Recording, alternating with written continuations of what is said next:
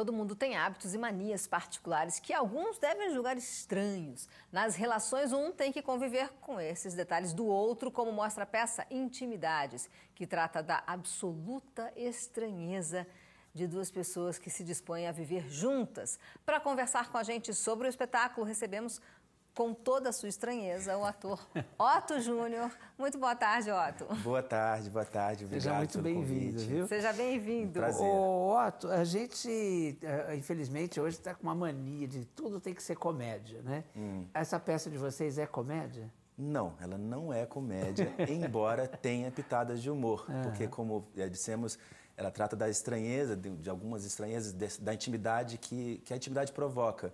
E, por vezes, pode ser muito patético, né?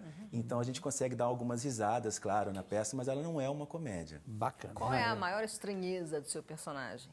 Então, é, tem uma estranheza assim dos dois, que eles têm uma, uma brincadeira que chama-se palavras pássaro. Eu digo uma palavra, você diz outra, é quase um, como um duelo. Ah, tá. Quando eles estão meio assim, eles soltam uma palavra, ela solta outra e eles ficam nesse, nesse duelo de, de palavras. É, bom, não posso ficar contando muito, mas ele tem, ele tem vontade de ser pai, ela não quer ser mãe. Aí ele fica, poxa, uma mulher que, que não E ela é quem? a Roberta Alonso, é, atriz super talentosa, que idealizadora do projeto, foi ela que convidou o Gustavo Machado, que conversando com ele propôs a ele escrever o, o texto. Gustavo Machado, que é ator também, né? Justamente, ele é- eu não conhecia essa, esse lado autor dele, eu já admirava o trabalho dele como, como ator. É, e aí foi apresentado agora esse talento que é a, a da escrita também que ele tem. E quem dirige o espetáculo? A direção é do Bruce Gomlewski, lá do Rio de Janeiro. E foi um processo bem rápido, mas muito intenso, porque são só dois atores, né? só eu e a Roberta. E ao todo deu quase 40 dias de ensaio, de muita intensidade, e que está com. Estreamos hoje. A estreia, já, já estou sentindo os sintomas da TPE, atenção para a estreia, já estou nervoso. Ô, ô, ô, Otto, me diz uma coisa. E é difícil conviver, na sua opinião, com as manias do outro ou da outra? Olha, eu acho que sim, mas eu, eu sou, eu acho que viva a diferença, né? Eu acho que não é, é mais do que ah, precisamos é, é, suportar as diferenças, eu acho que a gente precisa admirar as diferenças. Quem gosta do igual que casa com o espelho, né? Justamente, aí né, haja, né? Mas é, eu, eu sei que na intimidade isso pode ser bastante difícil, né? Então a gente tem que conviver com as diferenças que a gente consiga admirar verdadeiramente. Tá. Porque a intimidade sabemos que ela pode ser bastante cruel, bastante. Enfim, mas tem um lado que é muito bom. E eu acho. Eu tive a sorte de achar um amor tranquilo. Sou casada há quase 10 anos. Quase 10 anos, já. Temos diferenças, claro, mas, é, mas eu acho que as diferenças são bem-vindas. Quer dizer, as reações da plateia você não tem ainda, porque estreia hoje, né? Fizemos um ensaio aberto É. e tivemos, tivemos uma, uma reação, tivemos risos, mas tivemos, sabe, aquela, aquela- a pla- a plateia acompanhando com bastante seriedade e ao mesmo tempo alguns suspiros, tipo, ai, sabe, aquela coisa se reconhecendo naquelas situações. Isso é muito bom, né? É, é. Eu acho muito interessante esse assunto também, Otto, porque hoje, a gente até estava comentando aqui, eu e o Leão, que muitos casamentos duram pouquíssimos, às vezes menos de- do que um ano, né? E porque a pessoa olha para outra, se apaixona, tem química e quando vai morar junto, que começa a ver a mania do outro, É. a diferença. É verdade. E a peça também mostra como contornar esse problema?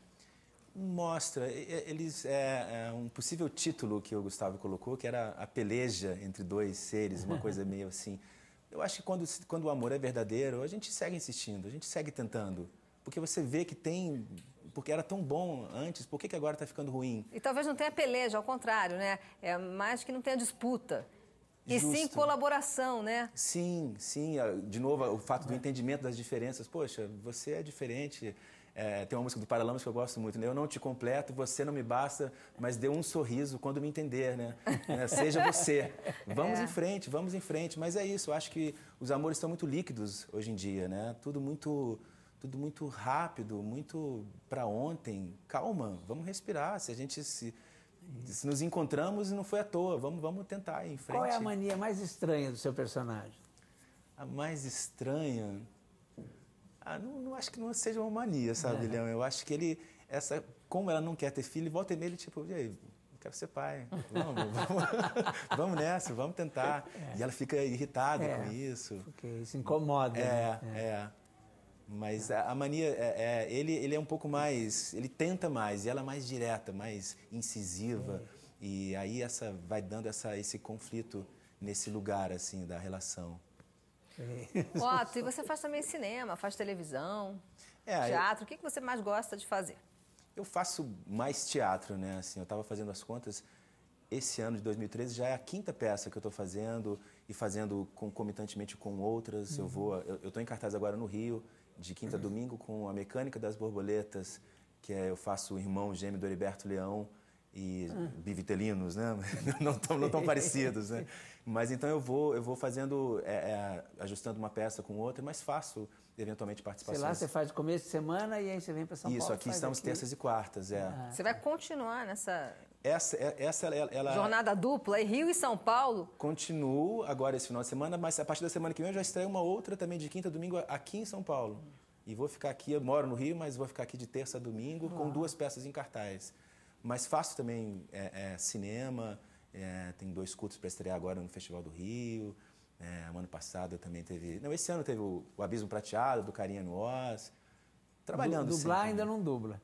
Olha, dublar ainda não, mas eu acho muito interessante. É muito viu? legal, né? E a peça entra em cartaz hoje, aqui em São Paulo, no Teatro Eva Hertz, que fica dentro da Livraria Cultura. Isso, estreamos hoje. Como eu disse, eu já estou sentindo os sintomas da TPA, atenção para a estreia. Hoje às 9 horas da noite. E a partir da semana que vem, terças e quartas, até o dia 16 de outubro, sempre às 9 horas da noite, no Teatro Eva Hertz. Que fica dentro da Livraria Cultura, que fica dentro do Conjunto Nacional, esquina da Paulista com Augusta, não é isso? Mesmo, isso mesmo. Aquele prédio belíssimo. Um que dos é marcos aqui de São Paulo. por ali, tudo, né? Tudo, no entorno. Uhum. É. Bacana, bacana mesmo. Bom, brigadíssimo, sucesso. Merda, merda, merda. Merda. Espero vocês lá. Conto com todo mundo. Obrigado, querido.